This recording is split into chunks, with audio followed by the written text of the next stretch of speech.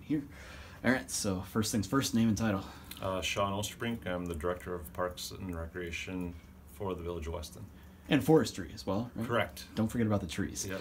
Uh, we talked about that a little tonight, but we're uh, we're more talking about the uh, the athletic complex feasibility study and uh, just kind of give us again some of the background on this because I know there's actually is correct me if I'm wrong. Is there actually two aspects of this, one for the village and one for the county? Are they considered one or are they separate? Uh, we're doing we're doing just one for the sports complex. Okay. So um, we have a signed agreement with Victus Advisors out of uh, Utah, and they're coming to town in December to basically meet with key stakeholders or user groups for the facility. So what would what would that entail then? Like a baseball, Baseball, softball. softball for the whole area because we're it's more of a regional complex than just a Village of Weston complex. We propose this will be great for the region, not obviously just for the village. So um, we've included you know Wausau area groups, Area groups, um, basically baseball, softball. We've included even like contacts for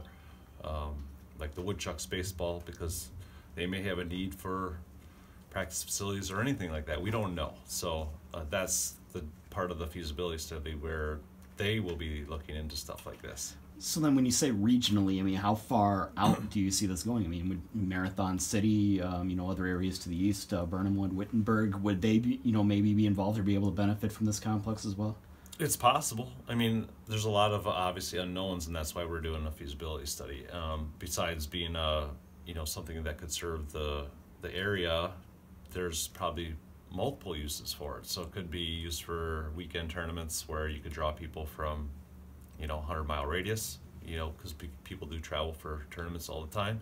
Um, but it also serve as use for like recreation leagues during the week. So um, we're hoping that this study will provide us with the details on, you know, will it serve that need that's out there right now. So then, and when you get these stakeholders together on, I believe it's December 11th or thereabouts. I mean, what are you hoping to to hear from them then?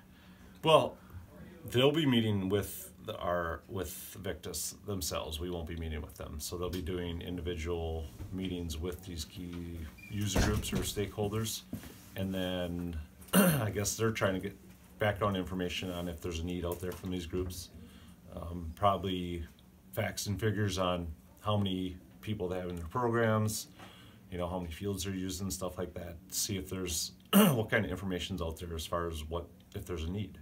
And then uh, you, you talk about the uh, the study itself then, because you're um, it's going to be conducted over, I'm guessing, several months, and then this is just going to be one aspect then of whether the village will move forward with, uh, you know, breaking ground on this. So we're, we're not talking about something that's going to be a few years down the road. This is something that could be a little further, correct? Yeah, I mean, this study is basically going to tell us if this is feasibility. Does it does it make sense to do this? Will it will it uh, you know do what needs to be done for the area, or if it's just going to be uh, you know it'll tell us if we shouldn't do it. Mm-hmm. So that's the idea is to you know and it, it could give us the location. It'll give us the um, financial analysis and other things involved in that study. Absolutely. And then uh, talk about, you know, the size and scope of the project right now, because obviously that's a moving target right now. You don't know just exactly how many fields or how much area this would encompass. But ideally, what would you like to see out of this uh, facility, proposed facility? Well, um, that's what the feasibility study will also determine is how many fields would be reasonable to do. We, you know, if it will even be a, we're focusing on baseball, softball, but there could be other uses that are better for that facility. You know, we also want to them to say, well, is there a site out there that's available in the whole metropolitan area that would be an ideal site for that? If if it would be um, you know, a recommendation or what comes out of that study if it would to move forward with something like this. So, I mean, there's a lot of moving pieces on there. They'll help uh, give us potential fundraising options also within the study. So, you know, because we know that just because the study says we should do it doesn't mean that it can it's financially viable for Yeah. it to be done in a short amount of time. So, um, there's a lot of things that they are doing in the study that should uh, point us in the right direction or tell us that this is doesn't make sense to move forward with.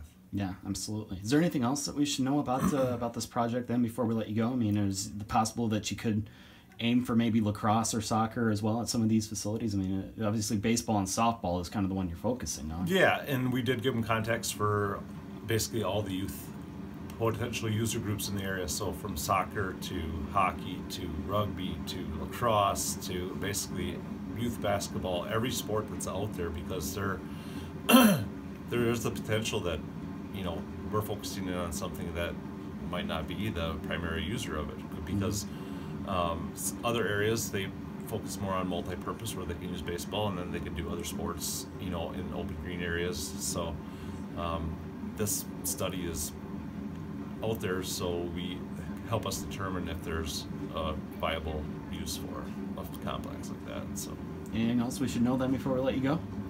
I don't think so. Hopefully, we'll see the results, um, you know, in the 10 to 12 week timeline that uh, they proposed. And uh, we should have something in spring that will help us decide, you know, what direction we're going to go at that point.